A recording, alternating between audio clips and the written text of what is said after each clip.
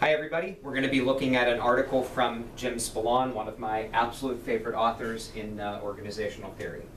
So, what do you need to know about Jim Spillane, besides the fact that he's one of the best? I mean, if you'd say the top 10 names in education right now in terms of research and productivity, his name is, depending on who you are and where you're looking at things, he's absolutely in the top 10.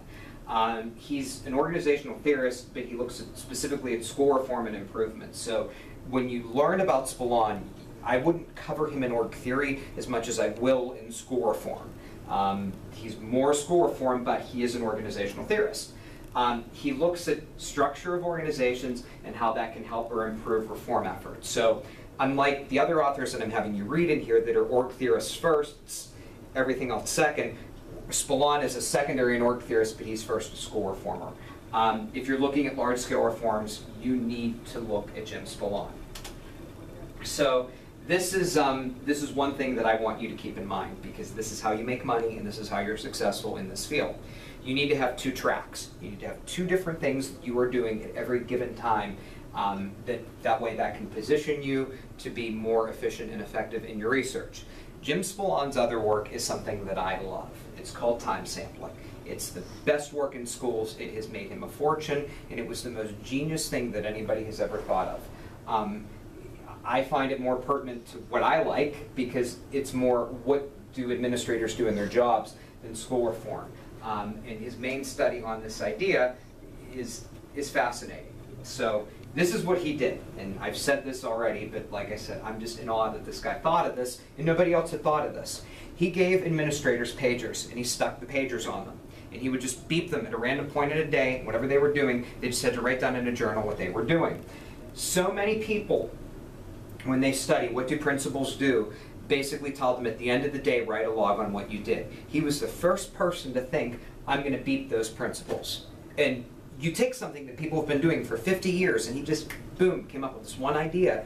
And it was genius because his justification for this methodology was if you wait until the end of the day, a principal's going to forget what was happening. And he thought of this, he thought of this on its own, and he did this you know, if you do a study on what principals do, it's a qualitative study. Spillane did this quantitatively and that's huge. He took something that every other researcher had been doing as a qualitative study, and he turned it into a quantitative study, which is genius. If you can find a way to do that with any of the work that you're doing, um, it's huge. So I like this article in conjunction with the Weick article, um, and, and, it basically updates some of the research that's been done on, on school coupling as well. So Spillane says that you know he looks at all the work that Weick did, and Weick's big takeaway message is that loose coupling is good for schools. No brainer, we all know that. But Spillane says because there's we need more structure, more institution, in, institutionalism, tight coupling can actually be a good thing. Um, technical work in, in schools are more specific. More stakeholders understand what the mission and vision of school is now. That was not the case. Um, that was not the case previously. So now that so many more people have buy-in to the organization, you can have tighter coupling. Makes sense to me. So he looked at um, four elementary schools between K and 8 that came from low-income areas um, of various size and various demographics. On your own, you can look at the chart for page you know, 592. It was a qualitative study, but it wanted to see how routines actually related to coupling in different systems of the hierarchy. So if you're interested in routines, this is another one to look at. So essentially, you know, we looked at the design of organizational routines as coupling mechanisms. What were they? How did they determine who was in control of them? How many people were involved in it? Um, he found that I thought was particularly interesting that the technical core and government regulation really was what tightened up the coupling at the school. Um, that was going to oversee how people interpret data, how they were supposed to do the actions that they were supposed to do in their schools. The subject matters for coupling. That's huge too, and that's something that you know we've already talked about a little bit in here.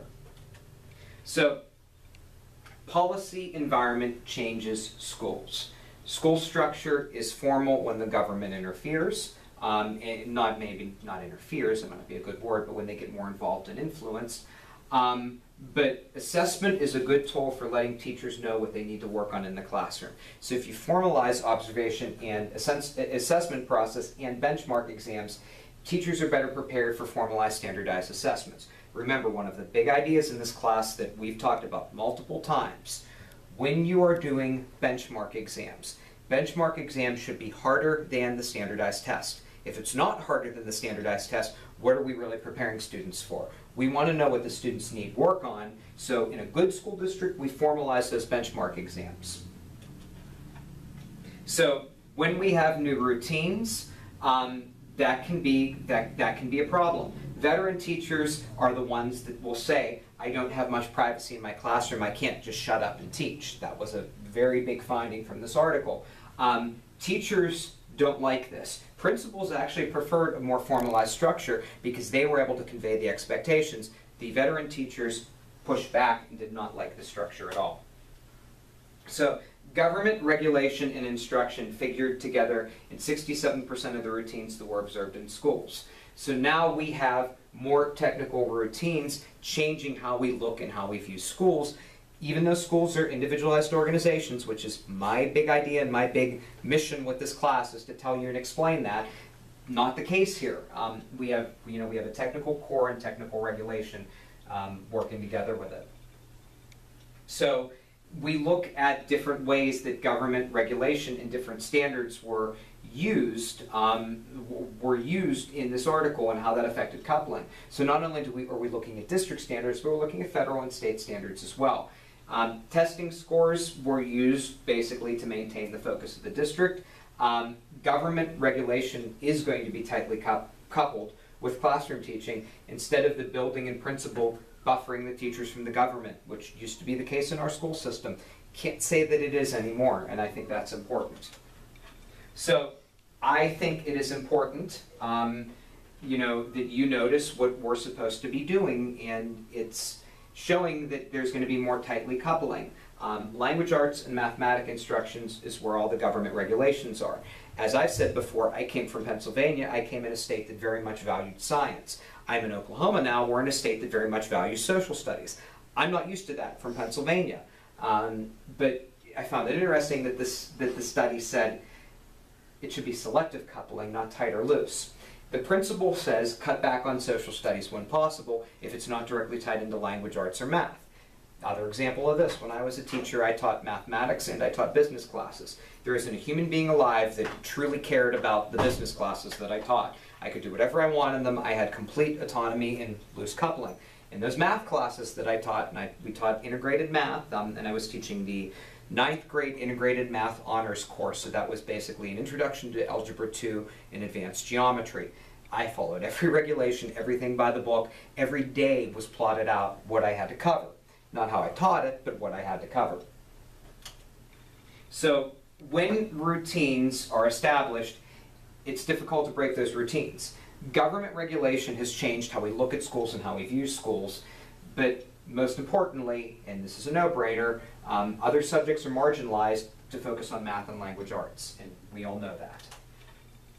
So I think this is an important article, and I think if you're doing anything with curriculum reform in your dissertation, um, how administrators look at curriculum reform, um, how teachers interpret it, this work would probably be beneficial to you.